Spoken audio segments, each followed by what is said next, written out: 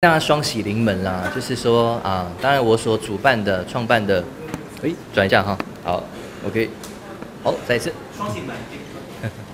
好，今天算是双喜临门了，因为啊，我所创办的这个 Playground 艺术学校呢，今天算是一个成果发表会，然后有很多的学生，今天大概有两三百位的学生会陆续登台演唱，那就像我的小孩一样，就是。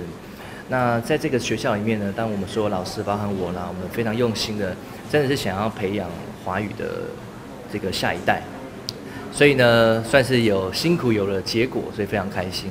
当然，第二第二个要很开心，当然是公布了我的人生的下一个阶段了。那跟我的太太，呃，花花呢，啊，我们接下即将要这个共创这个美好的未来。那在这边也是跟所有的朋友分享啊，我觉得今天是非常开心的一件事情。那当然也谢谢一路支持我的，不管是家人啊、朋友啊、啊有粉丝啊，还有我的学生啊，然后啊，真的非常谢谢大家祝福，因为最近的祝福如雪片般飞来这样子。那也期待我们今年年底的时候也会办这个我们的婚宴啊，到时也会宴请很多很好朋友一起来啊分享我们的祝福这样。所以在这边呢，也要祝大家就是。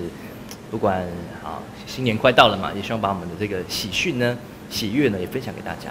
嗯。那想要去哪里度蜜月？在规划。